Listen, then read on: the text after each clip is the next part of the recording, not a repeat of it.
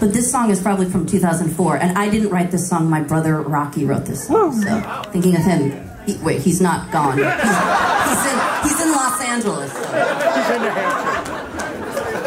May as well be gone. Same as happened.